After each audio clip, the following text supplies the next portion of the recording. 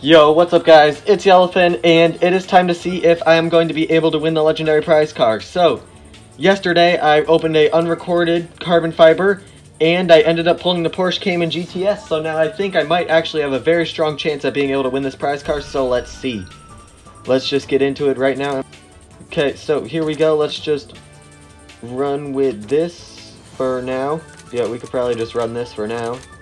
See how we can do. So also upgraded a ton of my cars, which I'll show in a sec after this round. Actually, I'll show them when I get to round 22, because that is the round where I actually need to like move all my stuff around, because 22 and 26 are the two tricky rounds. So that's where we'll see what like I'll be able to do with my deck and stuff. So probably I want to go with that, and then something like that. Put you on like the drag. You can go on. Hmm there. Probably you can probably win hairpin, that and that. Okay, so let's see about this. I can also always just go lower RQ, which will work too. But let's see now. That one's there. TTRS should win here. Yep, nice. Okay, now let's just see if the Opel OPC Extreme can win on the hairpin. I have a feeling it should, because we're just much faster. Yep, we are. Okay, good. So now we can skip that match. There we go. 3,000 more. And then that's a win on Hairpin. This round is another one of the trickier rounds, but that's a win. That's a win. Mountain Tour, I bet we can actually probably win that Mountain Tour with that. Because if we see M6 Grand Coupe, MRA should take it away far. Oh, nope, they passed me, okay. So actually we'll probably have to switch that. Yep, we'll have to switch that around. So, let's do... M6 Grand Coupe doesn't work. So what, can I go lower somewhere else? Oh, I can't even run the Audi with that. Okay, that's a bit of an issue then. Okay, but that'll win there. But then I need something to beat the Merc. Hmm. 4289, run that then what I can run you. So what, then we use you. Then I just need the beamer to win somewhere though. 3888.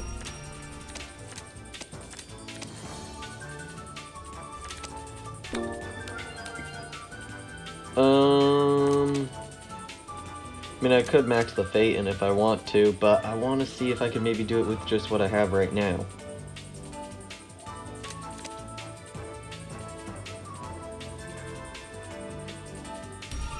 Mm, I just don't really have a spot for him. I mean, could try the twisty circuit, then put that like that, that like that, and that like that. So let's see if maybe we're able to win on twisty circuit. I doubt it though, because the Opel OPC Extreme has no MRA so I'll probably get flattened by that Mercedes. But maybe we will. We also have traction boost too. But yeah, no, we have no MRA. Okay, so I'll probably have to max the Phaeton then, which is stupid, because I don't want to wait. Unless I can just run something lower.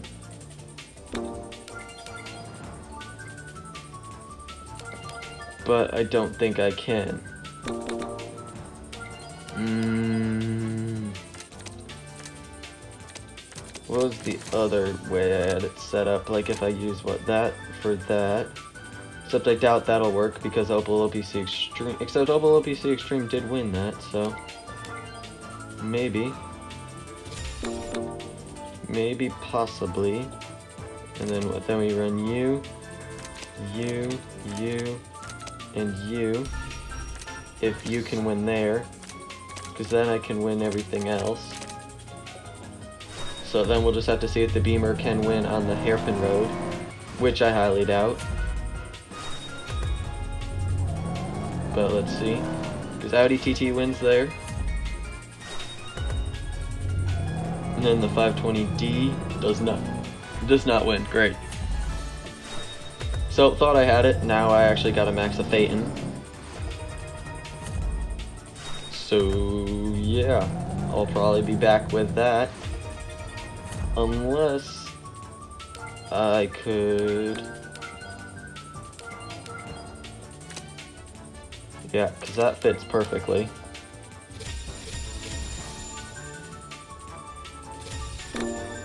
Wonder if the Phaeton just would win there, or there.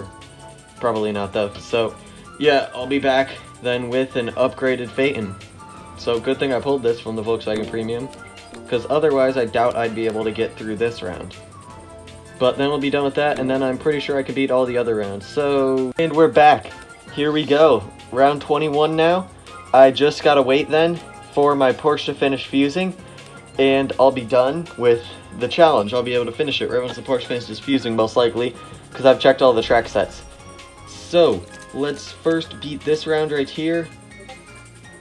And let's do that, that, that, and that. Might as well just run this. And this should work because the Phaeton should win. Then I just got to see round 22. And if I can beat round 22, then I am home free. I am able to then win the prize car. So this will be very nice. I'll actually be winning my first legendary prize car. Yeah, this should definitely be a win. And also I'll show off all my upgrades too that I had to do with the Phaeton right here getting two star, two starred it right now. It's at 213, but I doubt I'll need it in the future. But uh, if I do, I'll just upgrade it, but because I, I only got two fuses left I need to do. But there we go, round 21 complete. Now it all comes down to this, round 22. I gotta remember what hand I was using. It was this, that, Audi, that, and I'm pretty sure is that. Yeah, this is what I was using. I was using that, that one's there, that hopefully one's there, that hopefully, and that. So, let's see if it works.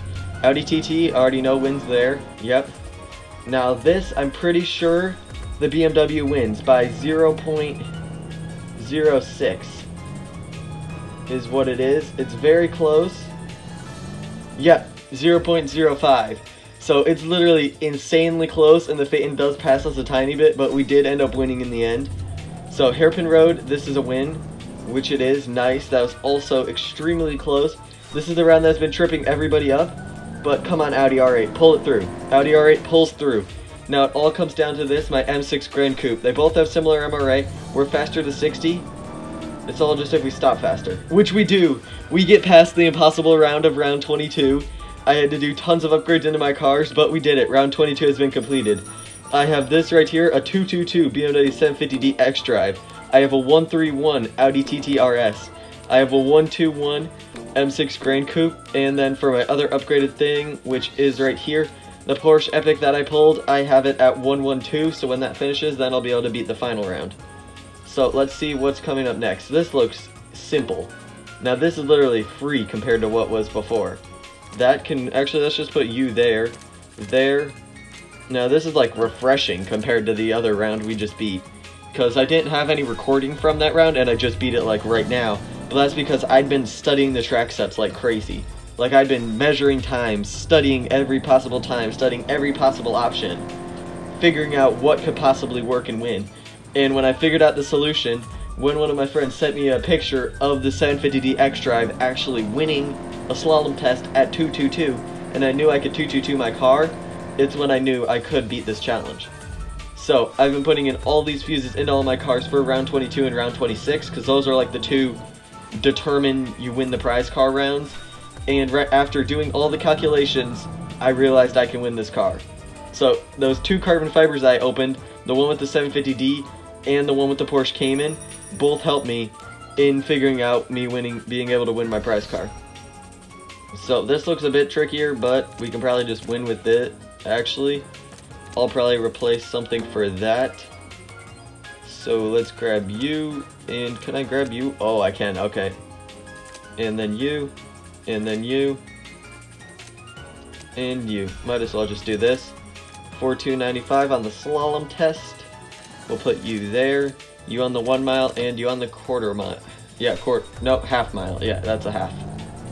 Okay, so, quarter mile drag, we get the dub. Right here, M6 Grand Coupe wins as well because it has great MRA. There we go. And that M6 Grand Coupe as well that I pulled um, from a BMW Premium. Like, I've gotten so lucky with this. Like, I'll also, after this round, I'll tell you guys how lucky I just gotten with all having all these cars. Like, I pulled the perfect stuff to win at all this. So, there we go, 911 GT2 RS. Like, I'll just tell you how lucky I was with these track sets and with my pack pulls. So, Gumpert Apollo S was a funny pack that I pulled with my dog, where I used my dog's paw to press the screen, and the dog pulled the Gumpert Apollo S, so that was pretty crazy. 911 GT2 RS, my first max legendary. 750D X Drive, I pulled from that carbon fiber, the first one I showed you guys. Porsche Cayman GTS basically saved the day and guaranteed me the win from another unrecorded carbon fiber, which was only my second one, which is why I still have so much gold. Audi TT RS Plus Coupe, I'm glad I saved it and didn't fuse it away even though it went low, because I like the car, it's still a great high RQ car, it has strong MRA, so really happy I kept that still.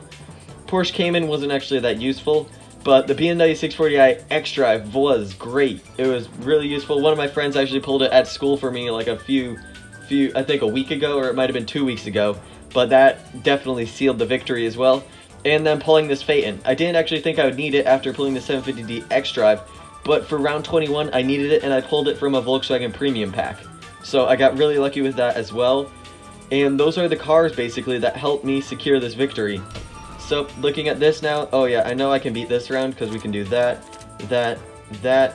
Now you just need 4, 4, and 3, 4, 93.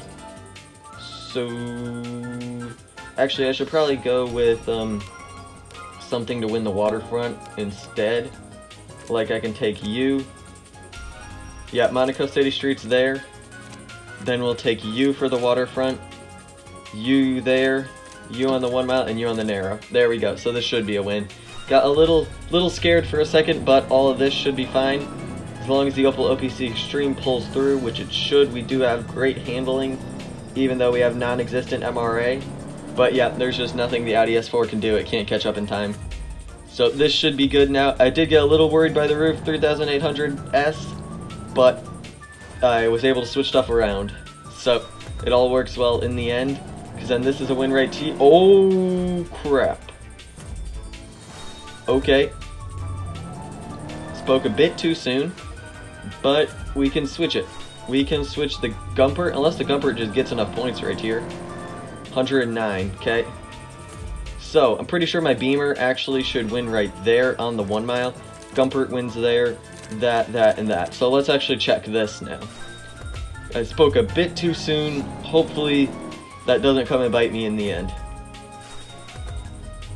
But there we go, Porsche. Okay. Little bit sketchy now. Gumpert Apollo S beats the RS6 Avant. Nice, 92 points. Then the Audi R8 Spider wins here. I can also always switch the Audi onto the one mile drag, but I think my Beamer should be good enough. Nope, the Merc is passing me. Okay, but my Audi, my Audi definitely can do it, I bet. Even though my Audi has missing MRA, but my Audi should be able to do it because of that top speed, and we're also faster to 60. So, Audi R8, please don't let me down you are, actually, I won't say you are a letdown of a car. You're actually a rather good car. For lots of people saying, oh, I got the Audi R8 Spider, it's not that great of a car, I've actually found a lot of use out of it. It's not a top tier legendary like the Gumpert Apollo S, but it is one that actually does have its use. It's not a useless legendary. It's more of like a decent legendary that does have its good areas. Which is, it's just a solid all-arounder. It's not going to win anything really, but it's also not going to lose anything by too much it's just a overall decent car. So hopefully the Audi R8 Spider can pull through. It will be passed, but now that top speed, come on, kick in top speed, kick in. Yep, there we go. Okay, the Audi R8 Spider saves the day. Great car, and there we go. It all comes down now to round 26, which I just gotta wait for my Porsche to finish fusing, and then I run this hand, so I might as well set up my hand. Can't use the Audi because it's too high of RQ. I use the TT, and I use the Cayman, but I'll just drop the Cayman for now to show what I am doing. So I run the Gumpert Apollo S there, and it gets enough bonus points, I am most likely sure. I'm actually going to check. I run the Porsche there on Monaco Narrow Streets, BMW M6 Gran Coupe wins there, my Audi TT ties, and a Monaco hairpin, then I put my Porsche down. So, yep, because we do lose there with the 640i X-Drive, the Porsche also loses too but that's why I'm putting the fuse into it. This is a very close race, but the M6 Gran Coupe does win by 0.06. Then this one, we just got to see 100 bonus points, but it should be 100 bonus points. Because I know the M6 Grand Coupe also wins by a lot, too. 96. That might be an issue. Yeah, because the Porsche didn't get any here. And I need to get 250. Because that's a tie. Oh, that was so close. Yet, so far. I mean, I could do a legendary fuse. I have the stuff to fuse it away if I want to. I could fuse away the Caterham, the ZL1 convertible, and the 907. So I can win this car, but... Mmm, that hurts a bit. yeah, I doubt the Audi wins on that. 3688. Mm, how do you not get enough points there?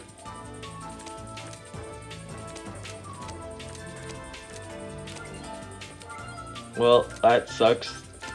Guess I either pull three ultra rares and upgrade my Audi once more, or I put a legendary fuse into my Gumpert Apollo S, which I wouldn't mind. I mean, I wouldn't mind it. Actually, you know what? Let's do it. Let's do the legendary fuse. Let's get it done. Peugeot 907, not that great of a car. Same for the ZL1 convertible. I have other American Ultra Epics I want to max. And the 7420 it's only really good when it's maxed out, and I don't really think I want to max it out. I've only actually used it once in an event. So here we go. Let's do live Legendary Fuse into the Gumpert Apollo S. There we go. So that is going to be 8 hours, so I'll be back in 8 hours. Yo, what's up guys? It's Yellowfin, and I don't know why I'm doing the intro again, but the fuse finished. So now, just gotta put the final upgrade in. I don't have enough money. So I'll just sell a super rare quickly because I have no ultra rares to upgrade anyway, and I have a ton of super rares. So let's just sell one, because it doesn't hurt to sell one. I'm to be opening a ton of ceramics soon anyway, so it doesn't really matter. But let's see. If 3891, I also 121 my Gumpert Apollo S, so it hits 2696 now, so hopefully that gets enough points as well. And hopefully the Porsche wins here on the Monaco hairpin. I'm pretty sure it should because it has 6 more handling and a similar 0 to 60. So hopefully we can pass them on the corners. The BMW is getting away a bit, but come on, please take the lead, Porsche. Please take the lead.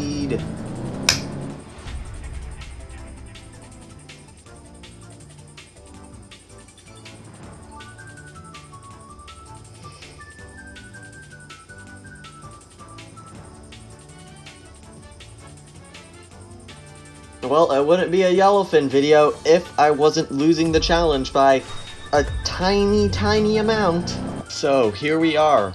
It is time to win the legendary prize car. I put my final fuse into the Porsche that I need, so now it has a max chassis at 133. I have the 121 BMW M6 Grand Coupe, the 121 Gumpert Apollo S, the 233 Porsche 911 GT2 RS, and the 131 Audi TT RS Plus Coupe. So here we go. Let's most likely win the prize card now because I only lost by 0.01 and I put a chassis fuse into the Porsche. So the Porsche should win now. The M6 is still ahead by a bit, but when we get to these final corners, we should pass it. Yep, we're already in the lead, and there's now a corner right here and right there. Yep, so this is the legendary prize car, my first legendary prize car that I've won. Had to put a lot of resources into it, also had to be very lucky which I was. I got insanely lucky with all my car pulls. Because there we go, 103 bonus points from there with the Gumpert. Then right here with my Porsche, doesn't actually get any bonus points, but that's okay. Because the final race we tie on with the TT against the S63. There it is, there's the tie, and that is the legendary prize car. Citroen GT, I actually got it. My first legendary prize car has been acquired. That's just incredible. Okay, I'm definitely adding that to my garage quickly and locking it. So, wow. My first legendary prize car and only at 8,000 trophies. How many days in is this? 520 days into the game. So, about midway for like other people where they're at like day 1000 if they've been playing since the very beginning. I've had to switch on and off from different accounts though. So probably if I was on one of my older, if I had contained the same account, I'd probably be on day 1000 as well. But day 520 with my German 2010 to 2014 garage looking like this. Right here. There we go. This is what I had to win it with. A lot of upgraded stuff. Only high tier car I didn't have to upgrade was the Audi R8 Spider because it was able to hold its ends where it needed to. But every other car I had to upgrade, including the Gumpert Apollo S. I actually had to put a fuse into it, fusing three epics, which you probably saw earlier in the video. And then the rest of my squad, besides all that, those four are fuse. And I did sell a few of the other stuff to get a times 5 to be able to get me to put the final fuse into the Porsche. But it was all useless stuff anyway that I didn't really need. So it was fine to sell it, because I wouldn't be using them really very much in the future anyway. And which I did then end up pulling the Chevy Murray also from the times 5 ceramic. But I'll have a garage update on that with all that that happens. That'll probably be out tomorrow. But let's upgrade this beast it has 108 MRA, or around 108. Goes down to, like, 3.3, I think. Yep, 3.393. There it is. It has 108 MRA, concept tag, and style icon tag. Also a French car, and a prize car. So now, if we go to my French collection, not looking too bad. I did have to fuse the Peugeot 906, but now I replaced it basically with the Citroen GT, which is a great car both the Oxia and the GT are both MRA beasts, so that'll be really useful. I want to like I want to put upgrades into it, so I may put upgrades into it in the far future because I it is my first legendary prize car, but probably won't be doing that anytime soon because I have other stuff I might want to work on, and I also want to work on rebuilding my garage and fuse pile too. But there we go. Now if we look at prize cars, the rather weak collection with the only good stuff really being the Citroen G, I mean the Pontiac G8 GXP and I guess the Firebird, we now have a legendary added to that collection. So that's pretty insane. Also my 10th legendary now, so I have 10 legendaries, that's pretty cool also. My 10th one being a pri legendary prize car. But that's incredible, and it's also a good one too. So I still haven't actually unpacked like a bad legendary yet. But hopefully that streak will continue going with my next legendaries I pull where I don't pull another bad, where I, not another, but I don't pull a bad one. Because all these ones I have right now are pretty solid legendaries. None of them are really weak and they all are, all, all are pretty good in their own areas. And so yeah, that basically, actually let's throw it on the Monaco 10 drag. I know it loses, but let's just see like how it does. Because I know it is a pretty close race. So on the one mile drag, Let's see how close it actually is. Because we do have a big 0 to 60 difference. But look at the Citroen Go then. It starts picking up and catching up. Wait, oh, it actually passes it. Oh, okay. So wow, the MRA Beast of the Citroen GT with a 3.30 to 60 actually beats the McLaren 12C, which is also an MRA Beast of a car. And the Citroen GT wins. So that is crazy. Also very nice. And there is a Citroen event coming up too. So I might just make a video on that, even though my hand won't be very good. But then I can, like, use the Citroen GT, which will be pretty nice. So that's basically... Wait, is it a 2000s car? It is. Oh, I can use it in this, too.